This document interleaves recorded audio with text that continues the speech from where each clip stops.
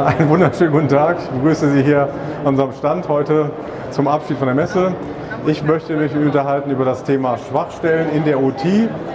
Warum machen wir das? Jetzt machen wir mal ein Negativbeispiel. Hier sehen wir eine Produktionssteuerung, wo scheinbar eine Schwachstelle ausgenutzt worden ist. Das bedeutet, diese Anlage fällt aus. Produktionsausfälle sind natürlich tragisch und schlimm, aber es ist ja auch durchaus äh, mehr dahinter. Es kann der ganze Standort betroffen sein und äh, wir kommen ja auch gerne alle in die Presse, vielleicht im Sportteil, aber mit irgendwelchen negativen Meldungen über Produktionsausfälle wollen wir es nicht. Also es geht hier darum, um Vertrauen zu gewinnen und eben die, die Sicherheit der Systeme zu gewinnen.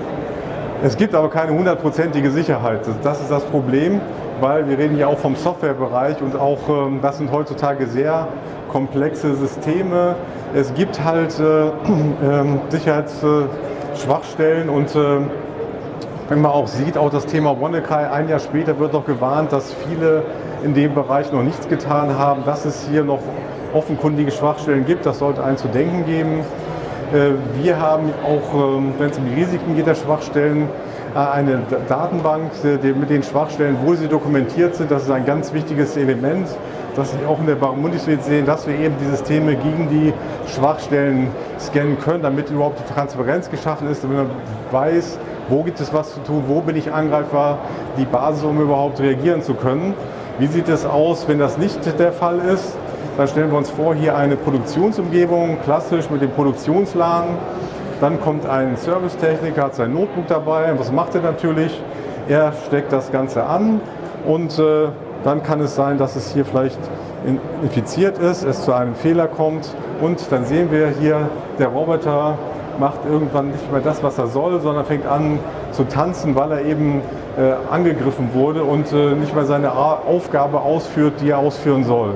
Das heißt, äh, in der Vergangenheit war es vielleicht so, dass man denkt, ja, da wurde nur Militär, große Institutionen angegriffen, aber heutzutage betrifft es jeden kleineren Mittelständler.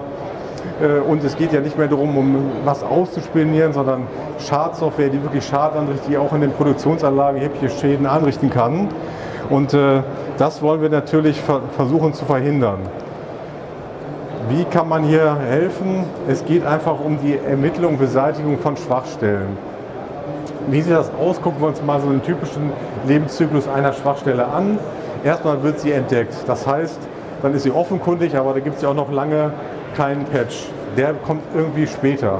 Aber das ist ja auch ein Zeitraum dazwischen. Das heißt, es kommt ja auch so, dann muss auch installiert werden. Wir wissen, im Tagesgeschäft werden auch Patches, die Schwachstellenseite nicht immer zeitnah installiert. Das heißt, äh, es gibt den Zeitraum der Gefahr. In diesem Bereich ist man gefährdet. Hat, und wir bieten hier unseren Schwachstellen-Scanner an, der erstmal die Transparenz schafft, der hier Klarheit schafft, dass man weiß, aha, wo gibt es erstmal was zu tun.